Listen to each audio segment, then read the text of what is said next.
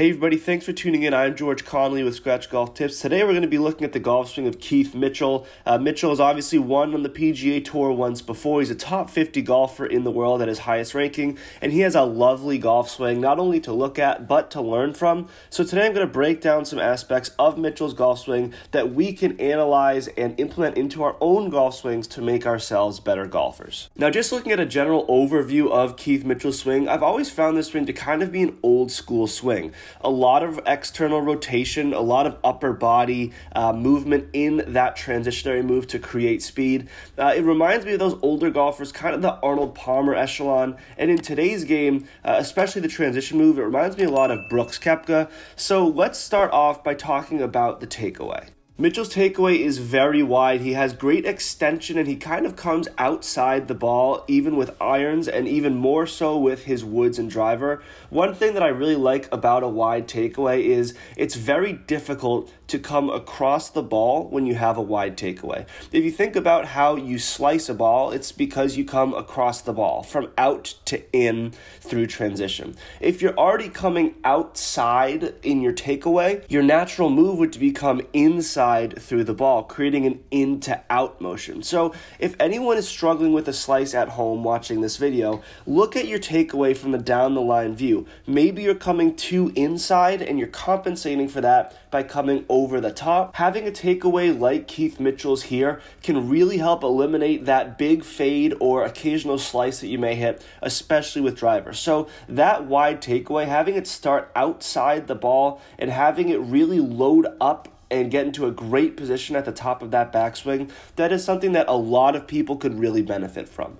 Now at the top of the backswing, look how straight that trail arm is. It's a great position to be in, and that club is very far away from the body, so the further that club is away from the body, by keeping that left arm straight, left arm for a right-handed golfer, the longer the swing is and the more power can be created through the swing. Now if you look at Keith Mitchell's swing in real time, it doesn't really look like one of these Rory McIlroy or Justin Thomas swings where they're really la- lashing at the ball, but he can still get the ball out there a long way, not only because of that good width and extension, but because he has great rotation in the golf swing. Now, talking about that rotation, one of the best things to learn from Keith Mitchell's swing is how effectively he rotates and does not sway. I've spoken about this before, but there's a very big difference between rotation and sway, and a lot of times go- golfers will feel in their golf swing like they're rotating very efficiently, when in reality, all they're doing is swaying laterally. And the issue with swaying laterally is you're changing the low point of your golf swing.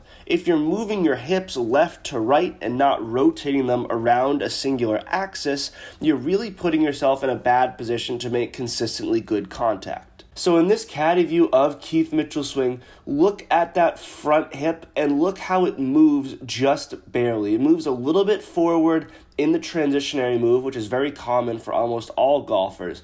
But in that takeaway, it's all rotation. You see that front leg kneel down, that knee bends just a little bit, and that's to kind of open up that trail hip that left knee going down will open up that right hip so that it can continue to move back away from the ball and create that rotation. A great swing feel for this is try and feel all the rotation around a singular axis, and it obviously makes sense for that singular axis to be your spine. So feel like if you have a thread attached to your head, all of the rotation is going around that thread. Now, if you're struggling with the horizontal sway, I would recommend filming your swing from this view. This is called the caddy view. And a great drill that you can do is put an alignment rod in the ground vertically, just maybe three or four inches in front of that trail hip. If you're swaying horizontally, you're gonna bump into that rod. It's gonna give you that physical feedback. We do not wanna be bumping into that rod in the golf swing. Rotation over horizontal sway every time. And Keith Mitchell's swing is a great place to get some inspiration on what this looks like when done efficiently in the golf swing. Mitchell's move through transition is very seamless. He shallows out the club nicely. The club face stays pretty neutral throughout most of the swing,